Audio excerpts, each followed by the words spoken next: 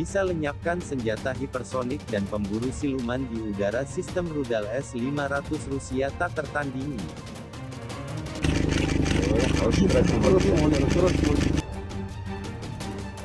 Sebelum kita lanjut, jangan lupa subscribe agar tidak ketinggalan berita terbaru dari Kataku.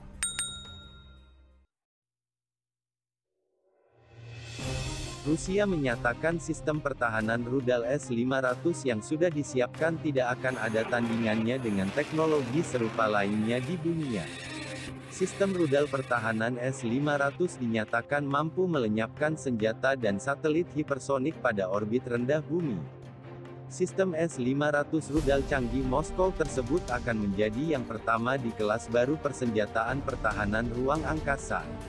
Komandan Pasukan Aerospace Rusia, Sergei Surovkin, mengatakan S-500 adalah senjata yang mampu menetralkan rudal balistik jarak menengah dan dapat menjatuhkan hulu ledak rudal antar benua, pesawat tempur, drone dan objek terbang lainnya. Surovkin menyatakan S-500 telah dirancang untuk menghilangkan senjata dan satelit hipersonik di orbit rendah bumi. Kemampuan itu menjadikannya sebagai generasi pertama dari perangkat pertahanan ruang angkasa, yang disampaikan lewat surat kabar resmi militer Rusia. Karakteristik sistem S-500 juga memungkinkannya menghancurkan senjata hipersonik dari semua modifikasi, termasuk di dekat ruang angkasa, katanya, yang dilansir Rusia Today, Jumat tanggal 3 Juli tahun 2020. S-500 dapat dikaitkan dengan generasi pertama sistem pertahanan ruang angkasa, karena di masa depan sistem S-500 akan dapat menghancurkan satelit orbit rendah dan senjata ruang angkasa. S-500 Prometei, sistem gabungan rudal balistik surface to air dan anti-balistik, berhasil diuji coba pada tahun 2019 di Suriah dan saat ini sedang dikembangkan oleh perusahaan Almas Antey. Senjata pertahanan ini diharapkan siap dikirim ke unit militer Rusia tahun 2020. Kepala Raksasa Pertahanan milik negara, Rostek, Sergei Chemezov, mengatakan bahwa tidak akan ada ekspor S-500 dalam lima tahun ke depan. Kita harus terlebih dahulu memasok penuh pasukan kita sendiri, ujarnya. Dibandingkan dengan seri sebelumnya, S-500 jauh lebih canggih. Seri sebelumnya adalah S400. S400 menggunakan tiga rudal yang berbeda untuk menutupi seluruh kinerja. Ini adalah rentang sangat panjang 40N6, jarak panjang 48N6 dan rudal jarak menengah 9M96. Masing-masing memiliki kemampuan yang berbeda.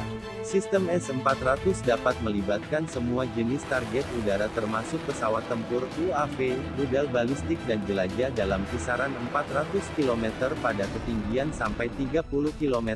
Sistem ini dapat melumpuhkan 36 target secara bersamaan, dan bisa dibilang S-400 lebih efektif dibandingkan sistem pertahanan udara Rusia sebelumnya dan dapat digunakan dalam waktu 5 menit. Sistem rudal pertahanan udara S-400 menggunakan empat jenis rudal baru di samping menggunakan rudal dari sistem S-300 PMU. Rudal pertama yang dipasang pada sistem ini 48N6DM 48N6E3 ini merupakan varian penyempurnaan dari rudal 48N6M dengan sistem propulsi yang lebih kuat. Rudal itu dapat menghancurkan target udara pada kisaran 250 km.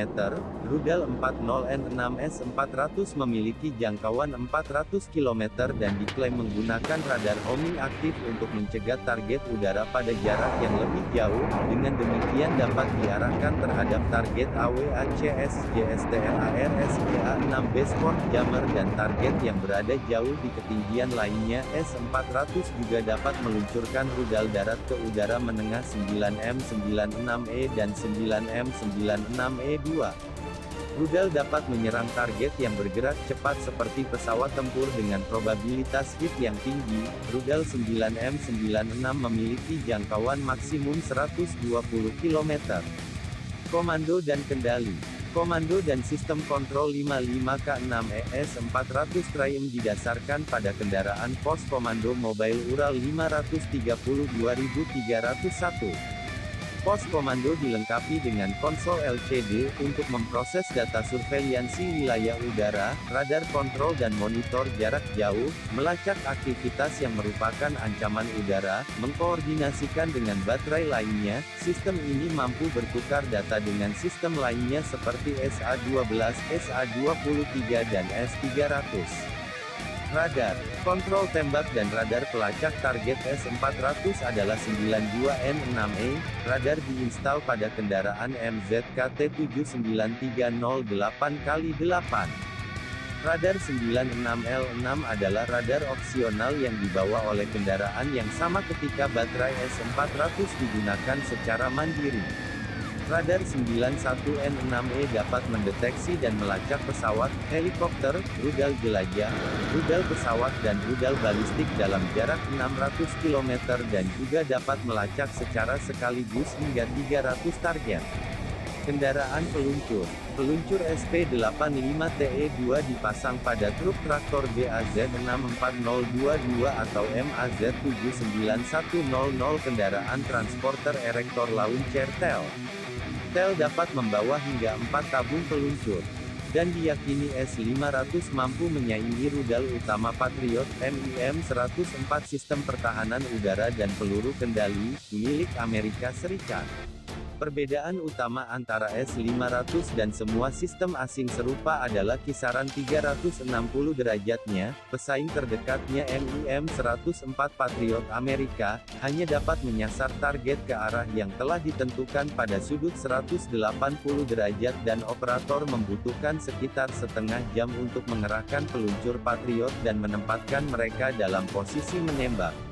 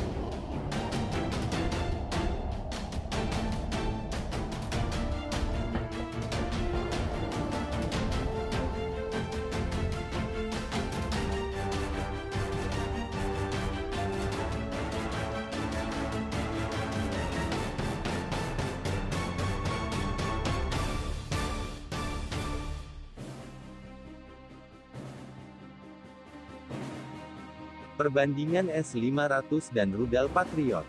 Sistem pertahanan Patriot memiliki empat rudal untuk setiap peluncur. Rudal kemudian disimpan dan diluncurkan dari tabung aluminium yang dipasang pada trailer menggunakan kasis 8x8. Setiap unit Patriot memiliki truk pembangkit listrik dengan dua generator 150 kW.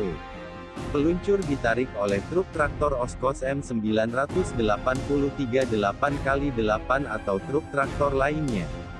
Versi bergerak rudal Patriot menggunakan kendaraan mobilitas tinggi Menka AT1 8x8. Dibutuhkan beberapa menit untuk menyiapkan posisi siap tembak hingga peluncuran. Baterai rudal Patriot atau unit tembak adalah elemen operasi dasar. Unit tembak sendiri terdiri dari pos komando radar 8 hingga 16 peluncur dan kendaraan pendukung. Baterai dapat mencegat hingga 8 target secara bersamaan. Peluncur rudal Patriot diklaim dapat melacak target hingga 1 km dari radar atau kendaraan pos komando. Adapun radar Patriot diklaim mampu melacak pesawat jet tempur pada jarak 110 hingga 130 km, pesawat pembom pada jarak 160 hingga 190 km, rudal pada jarak 85 hingga 100 km dan hulu ledak rudal di kisaran jarak 60 hingga 70 km. Rudal Patriot diklaim memiliki kemampuan menembak sasaran yang bergerak dengan kecepatan 8 km per jam. Tak hanya itu rudal Patriot mampu menyerang 36 target sekaligus dengan radar melacak pergerakan 125 target pada saat yang sama.